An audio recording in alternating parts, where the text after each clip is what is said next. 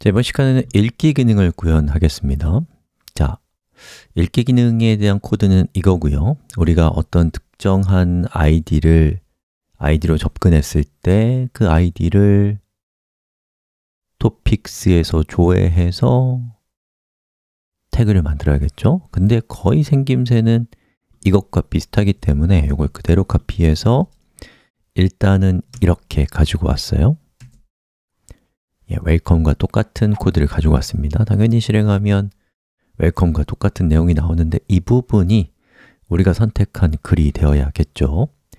자, 그러기 위해서 저는 이 토픽스에서 이 아이디와 일치하는 값을 가져올 거예요. 자, 그러기 위해서 저는 토픽스를 조회를 좀 하겠습니다. For topic in topics 예. 만약 id와 여기 있는 이 id는 어디서 온 값이에요? 이 값이죠? 예. 그 값과 현재 순번의 토픽의 id가 같다면 어떻게 한다? 자, 여기다가 제가 타이틀은 공백, body도 공백 이렇게 씁니다. 같을 때 타이틀은 토픽의 타이틀. body는 토픽의 body이다. 라고 이렇게 했습니다. 자, 이때의 이 id 값이 좀 문제가 돼요. 왜요? 여러분이 이런 식으로 그 라우트의 패턴을 적으시면 이렇게 들어오는 저 값은 무조건 문자열이거든요. 진짜 그런지 확인해 볼까요? print type id 이렇게 해서 한번 실행을 시켜 볼게요. 자, reload 해보면 보시는 것처럼 string이라고 나온단 말이죠.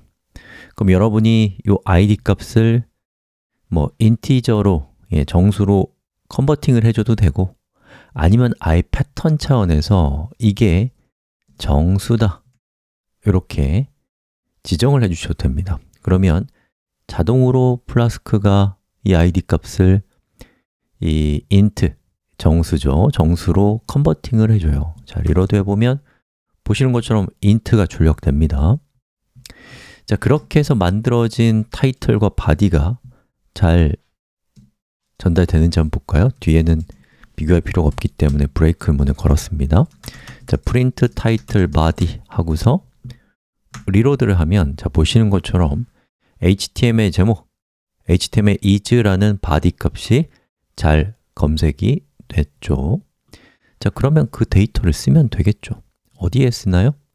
자, 여기 보시면 welcome이라고 되어 있는 이 부분은 타이틀 자, 여기 있는 이 부분은 body 값을 주면 되지 않겠습니까? 자, 그리고 실행해 볼까요?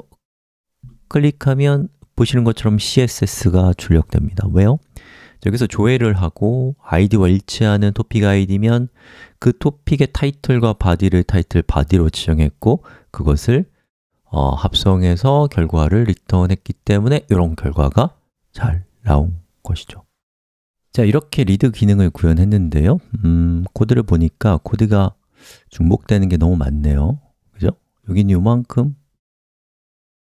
그리고 여기서 요만큼 똑같은 코드거든요 자, 그럼 요거를 이제 하나로 우리가 합치는 여러 가지 방법이 있는데 어, 나중에 여러분이 이 Flask를 좀 더 깊게 배우면 template이라는 것을 배워서 사용하시면 됩니다. 저는 템플릿은 또 그것대로 배워야 될 것이 많기 때문에 저는 저걸 함수화를 시키겠습니다. 자, 여기에서부터 여기까지의 코드를 일단 카피했어요. 자, 그리고 템플릿이라는 함수를 만들었고요 이 함수의 return 값을 방금 카피해온 그 부분으로 이렇게 지정을 했습니다. 자, 이 템플릿 안에서 바뀔 수 있는 부분은 어디 어디죠? 자, 일단 이 부분도 바뀌어야 되고요. 그리고 여기 있는 이 부분도 바뀌어야죠. 자, 저는 이 부분을 음, 컨텐츠로 할게요. 자, 그리고 이 부분은 컨텐트로 하겠습니다 예, 그럼 이 입력 값을 어디서 받아야겠죠? 자, 그래서 template의 첫 번째 파라미터로는 contents를 받고 두 번째는 content를 받겠습니다. 자, 그리고 이 template으로 여기를 바꿀래요. 자, 여기를 바꾸는데요. 자, 일단 template이라고 했고요. 자, 이 template의 첫 번째 파라미터는 컨텐츠, 즉 목록을 받아야 되니까 li tags를 받겠습니다. 자, 두 번째, 이 본문을 받아야죠. 본문은 웰컴이니까 여기다가 h2 welcome h2 그리고 hello web 이라고 했어요. 자, 그리고 홈으로 가서 잘 동작하는지 볼까요? 잘 되네요. 자, 그 다음에 이 read도 template화를 시킬래요. 자, 여기 음, read에서 어디죠? 요만큼 여기서부터 여기까지. 이걸 template 함수로 바꾸겠습니다. 자, template 함수의 첫 번째 파라미터는 contents li tags를 주고요. 자, 오늘 두 번째는 f 스트링으로 h2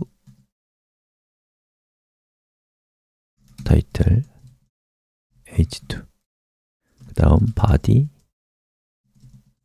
이렇게 했고 reload 하면 보시는 것처럼 잘 동작하죠. 자, 그 다음에 여기 어, 목록을 만드는 이 부분도 자, 이렇게 보시는 것처럼 중복이 존재하네요. 저거 하나로 또 퉁칠까요? 자, 저는 content 라는 함수를 만들고요. 저 함수 안에다가 이렇게 li tags를 이전해서 li tags를 return 했습니다. 자, 그럼 이제 여기는 뭘로 바뀌면 돼요? contents로 바뀌면 되겠죠. 자, 그리고 이 아래에 있는 이 부분도 중복을 제거했으니까 날려버리고요. 여기를 get content로 해서 코드를 정리정돈하는 작업을 처리했습니다. 자, 그리고 reload 한번 해보죠. 자, 잘 동작하는 걸 볼 수 있습니다. 어, 근데 여기 자바스크립트를 제가 이상하게 썼네요. 여러분 알고 계셨죠? 자바스크립트. 이렇게 변경했습니다 자, 이렇게 해서 읽기 기능을 구현했습니다 자, 그리고 중복을 제거해서 좀 더 간결한 코드로 만드는 작업까지 끝냈습니다 축하합니다. 박수!